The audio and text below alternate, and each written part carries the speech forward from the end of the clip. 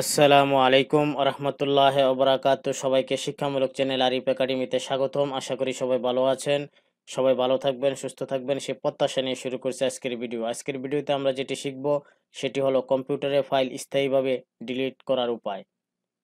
কীভাবে আমরা কম্পিউটার থেকে ফাইল পার্মানেন্টলি ডিলিট করব, এই বিষয়টি নিয়ে আজকের এই ভিডিওটি সাজিয়েছি।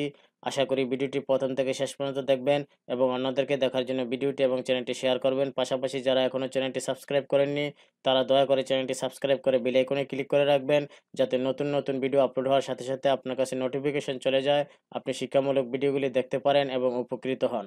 তো চলুন জেনে নেই কম্পিউটারের ফাইল স্থায়ীভাবে ডিলিট করব কীভাবে। প্রথমত আপনার কম্পিউটারে রিসাইকেল বিন এ বিনে রিসাইকেল বিনে রিসাইকেল বিনে গিয়ে রাইটে ক্লিক করুন। এমটি রিসাইকেল বিনে বলে একটা অপশন দেবে। সেখানে ক্লিক করলেই সেভ হওয়া ডিলিটেড ফাইলগুলি মুছে যাবে। আপনি চান না আপনার কোনো ফাইল বা ডাটা রিসাইকেল বিন বা ট্রাস্কেনে সেভ হোক। কি করবেন?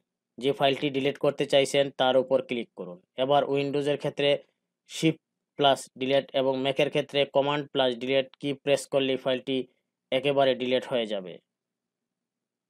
ম্যাকের ক্ষেত্রে কমান্ড বাটনে প্রেস করে রেখে ট্রাস স্ক্যান এ রাইটে ক্লিক করুন সিকিউরিটি এমটি ট্রাস অপশন দেবে। সেখানে ক্লিক করলে যে ফাইলটি ডিলিট করতে চাইছেন, সেটি ড্রাইভ থেকে পুরোপুরি ডিলিট হয়ে যাবে।